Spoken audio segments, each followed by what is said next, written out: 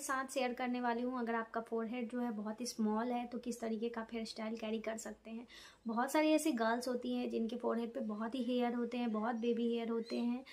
तो किस तरीके से हेयर स्टाइल कर सकते हैं गाइस मेरा फोरहेड जो है वो एक ब्रॉड फोरहेड में आता है गाइस और अभी तो बहुत ही हेयर फॉल हो गया है तो और भी ज़्यादा ब्रॉड होते जा रहा है।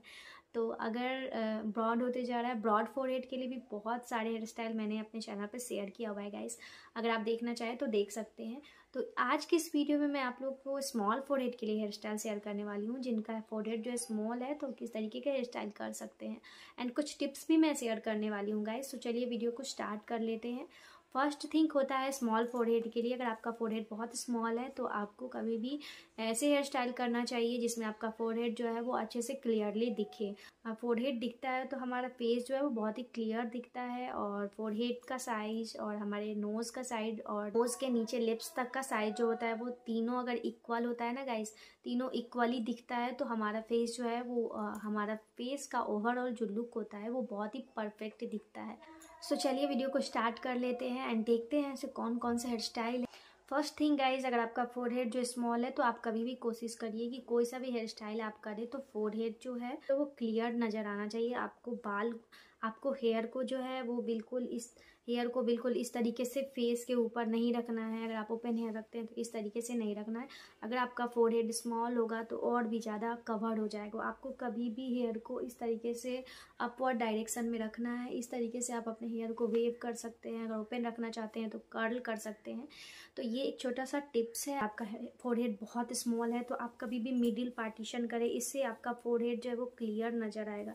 तो अगर आप मिडिल पार्टीशन करते हैं ना तो आपका फोरहेड क्लियरली दिखता है क्लियर नज़र आता है और आपका स्मॉल फोरहेड जो है, वो बिग फोरहेड में कन्वर्ट हो जाता है। आप देख सकते हैं इस तरीके से, अगर आप, मैंने मिडिल पार्टीशन कर लिया तो हमारा फोरहेड जो है, वो बिल्कुल क्लियरली नज़र आ रहा है। तो स्मॉल फोरहेड है तो आप इस टिप्स को ज़रूर फॉलो करें। कभी भी आप आप देखते होंगे ऐसे बहुत सारे सेलिब्रिटी होते हैं जिनका फोरहेड स्मॉल होता है लाइक आलिया भट्ट तो उनका फोरहेड भी स्मॉल है गाइस तो वो भी जो है वो ज़्यादातर मिडिल पार्टीशन रखती हैं अपने हेयर स्टाइल को करने में। तो अगर आपका फोरहेड जो स्मॉल स्मॉल है तो आप मिडिल पार्टीशन ज़्यादा करो।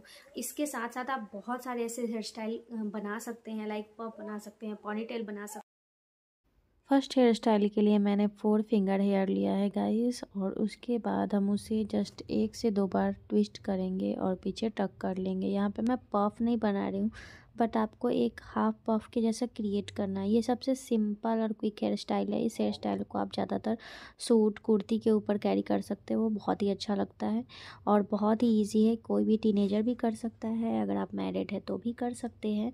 जो भी टिप्स मैं आगे आप लोग के साथ शेयर करने वाली हूँ, सारे टिप्स को अच्छे से ध्यान में रखते हुए आप हेयर स्टाइल को बनाना। तो ये था हमारा फ़र्स्ट हेयर स्टाइल जो कि बहुत ही क्विक था और बहुत ही बढ़िया लग रहा था। सो नेक्स्ट हेयर स्टाइल के लिए भी मैंने जस्ट मिडिल पार्टीशन ही रखा है। उसके बाद हम फाइव फिंगर हेयर लेंगे। इस तरीके से ईयर तक का आपको हेयर लेना है। उसके बाद इस तरीके से कॉम कर ले आप। उसकी कॉम करने के बाद हम पीछे ले जाकर ट्विस्ट करके लाइक एक पफ क्रिएट करेंगे। तो इस हेयर स्टाइल को ज़्यादातर मैरिड वुमेन कर सकते हैं। साड़ियों पे ये हेयर स्टाइल बहुत अच्छा लगता है। इस तरीके से आपको एक पफ क्रिएट कर लेना है। आप चाहें तो गाइस पफ क्रिएट करने के लिए पफ मेकर का भी यूज़ कर सकते हैं। अगर आपको पफ बनाने में दिक्कत आती है तो।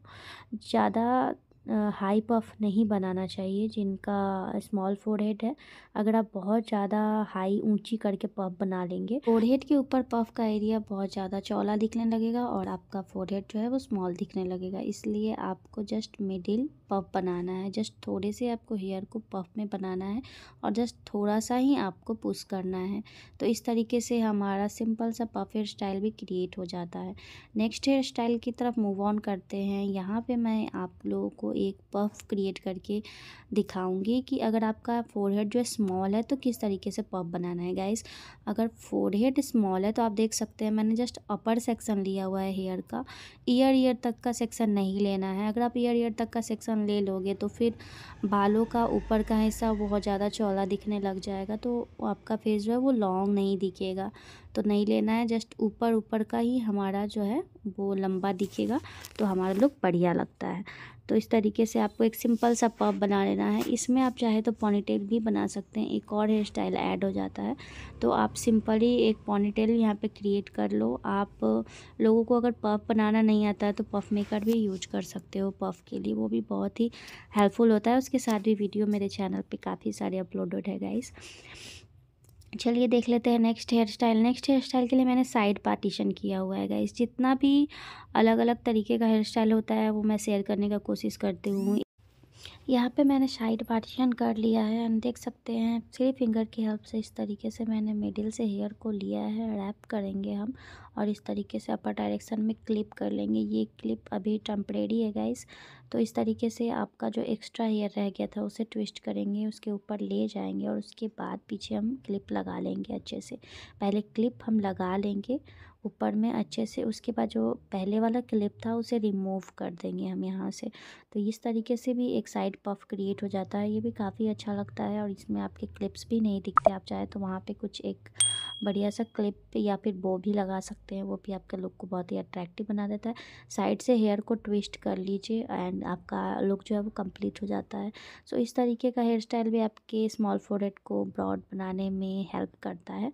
नेक्स्ट हेयर स्टाइल के लिए मैंने मिडिल पार्टीशन कर लिया है गाइस उसके बाद मिडिल पार्टीशन करने के बाद इस तरीके से फिंगर की हेल्प से ही आप ट्विस्ट करते जाओ हेयर को। इस हेयर स्टाइल के साथ आप बर्न पार्टी बर्न भी क्रिएट कर सकते हो किसी वेडिंग एनिवर्सरी या फिर पार्टी करवा चौथ के लिए भी बना सकते हो। बहुत ही अच्छा लगता है मैरिड वुमन के लिए स्पेशली तो इस तरीके से रैप करते जाओ। इजी है गाइस ज़्यादा टाइम नहीं लगता है बट बहुत ही हेवी हेवी सा लगता है। बहुत ही अच्छा लगता है। ज़्यादातर मैं तीज करवा चौथ में मैं इसी तरीके के हेयर स्टाइल बनाती हूँ, जो कि अच्छा लगता है बहुत।